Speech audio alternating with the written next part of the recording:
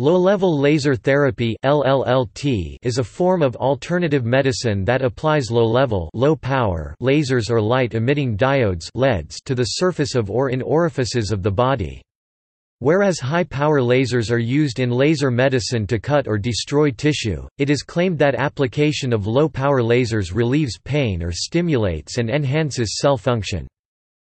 The effects of LLLT appear to be limited to a specified set of wavelengths of laser, and administering LLLT below the dose range does not appear to be effective, despite a lack of consensus over its validity. Some studies suggest that LLLT may be modestly effective, in relieving short term pain for rheumatoid arthritis, osteoarthritis, acute and chronic neck pain, tendinopathy, and possibly, chronic joint disorders. The evidence for LLLT being useful in the treatment of low back pain, dentistry, and wound healing is unclear.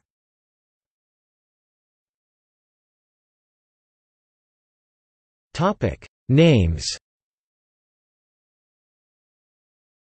Variations of LLLT have gone by a variety of alternate names including low-power laser therapy LPLT, soft laser therapy, low-intensity laser therapy, low-energy laser therapy, cold laser therapy, biostimulation laser therapy, photobiomodulation, photobiotherapy, therapeutic laser, and monochromatic infrared light energy therapy. When LLLT is administered to so-called acupuncture points, the procedure may be called laser acupuncture. When applied to the head, LLLT may be known as transcranial photobiomodulation, transcranial near-infrared laser therapy or transcranial low-level light therapy.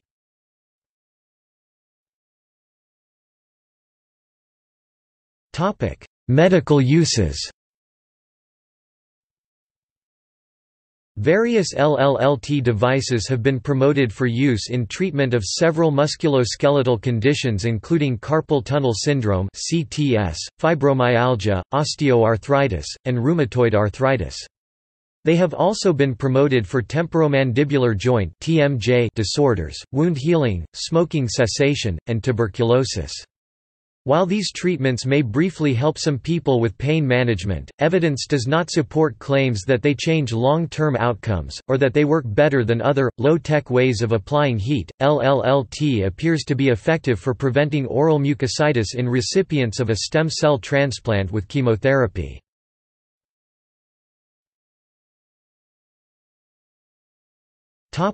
Mechanism Research is ongoing about the mechanism of LLLT. The effects of LLLT appear to be limited to a specified set of wavelengths of laser, and administering LLLT below the dose range does not appear to be effective. Photochemical reactions are well known in biological research. It may be that the light applied in low level laser therapy might react with the respiratory enzyme cytochrome C oxidase, which is involved in the electron transport chain in mitochondria.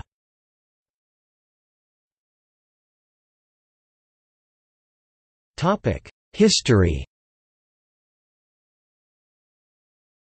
Hungarian physician and surgeon Endre Mester (1903–1984) is credited with the discovery of the biological effects of low-power lasers, which occurred a few years after the 1960 invention of the ruby laser and the 1961 invention of the helium-neon laser. Mester accidentally discovered that low-level ruby laser light could regrow hair during an attempt to replicate an experiment that showed that such lasers could reduce tumors in mice. The laser he was using was faulty and wasn't so powerful as he thought. It failed to affect the tumors, but he noticed that in the places where he had shaved the mice in order to do the experiments, the hair grew back more quickly on the treated mice than on those among the control group. He published those results in 1967. He went on to show that low-level hen light could accelerate wound healing in mice. By the 1970s he was applying low-level laser light to treat people with skin ulcers. In 1974 he founded the Laser Research Center at the Semmelweis Medical University in Budapest, and continued working there for the remainder of his life. His sons carried on his work and brought it to the United States. By 1987, companies selling lasers were claiming that they could treat pain, accelerate healing of sports injuries, and treat arthritis, but there was little evidence for this at that time. By 2016 they had been marketed for wound healing, smoking cessation, tuberculosis, and musculoskeletal conditions such as temporomandibular joint disorders, carpal tunnel syndrome, fibromyalgia, osteoarthritis, and rheumatoid arthritis, and there was still little evidence for these uses, other than a possible use in temporarily treating muscle or joint pain. Mester originally called this approach, laser biostimulation but it soon became known as low-level laser therapy. And with the adaptation of light-emitting diodes by those studying this approach, it became known as low-level light therapy. And to resolve confusion around the exact meaning of low-level, the term photobiomodulation arose.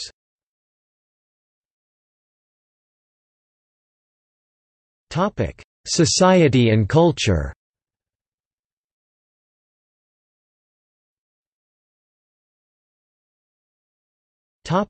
Reimbursement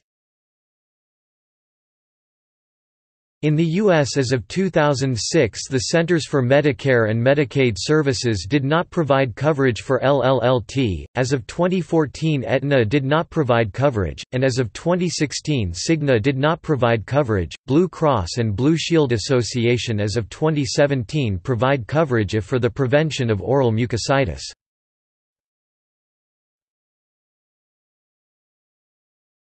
Topic: Research.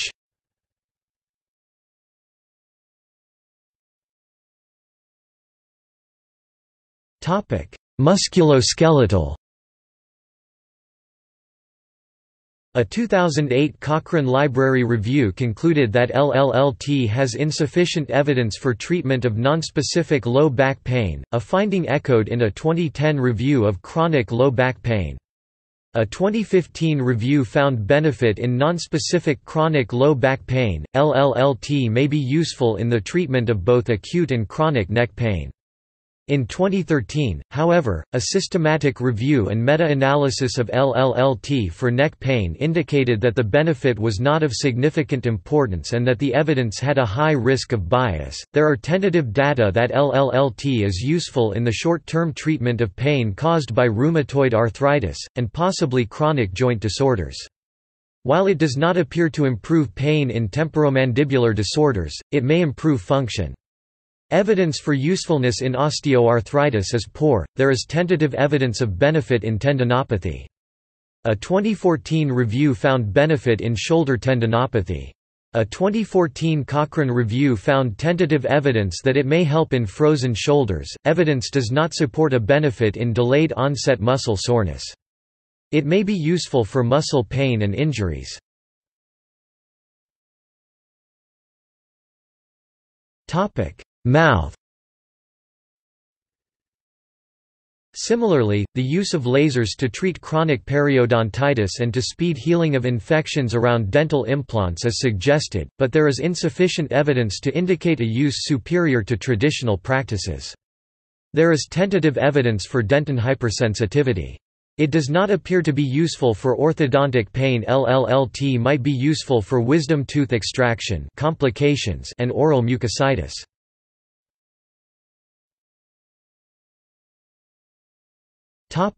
Hair loss LLLT has been studied as a treatment for hair loss. A review in 2012 found little evidence to support the use of lasers to treat hair loss. A 2014 review found tentative evidence for benefit for lasers, while another 2014 review concluded that the results were mixed, had a high risk of bias, and that its effectiveness was unclear.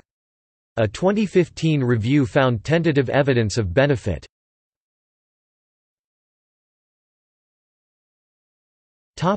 Brain injuries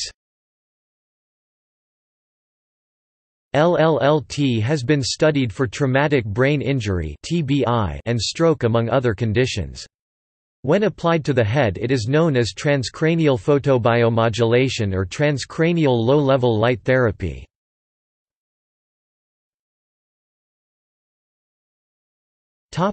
Cancer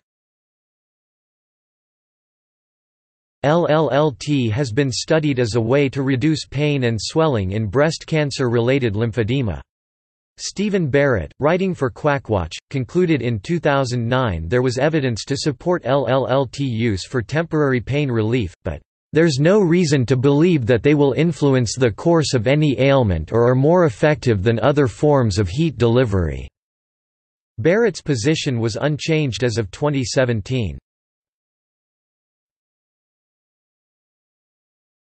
Topic: Stem cells.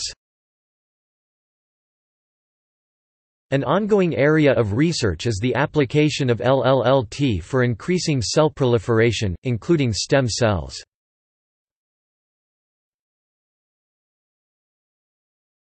Topic: Veterinary use. Veterinary clinics use cold laser devices to treat a wide variety of ailments, from arthritis to wounds, on dogs and cats. Very little research has been done on the effects of this treatment on animals. Currently, laser therapy equipment is aggressively marketed to veterinarians as a supposedly powerful therapeutic tool and revenue generator. Brennen McKenzie, president of the Evidence-Based Veterinary Medicine Association, has stated that Research into cold laser in dogs and cats is sparse and generally low quality. Most studies are small and have minimal or uncertain controls for bias and error. While allowing that some studies show promising results, he reports that others do not. While believing that there is enough evidence to warrant further study, he concludes that there is not enough evidence to support routine clinical use of cold laser in animals. If vets want to try this therapy, they have an obligation to be clear with client that the risks and benefits have not been established and that the treatment is essentially experimental. There is nothing wrong with using such a treatment given appropriate informed consent, but the aggressive marketing of laser equipment to vets as a profitable treatment is ethically questionable given the lack of good evidence that it is a truly safe and effective treatment for any condition.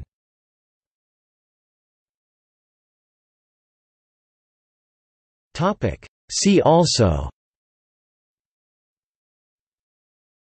Photomedicine Light therapy Blood irradiation therapy Photorejuvenation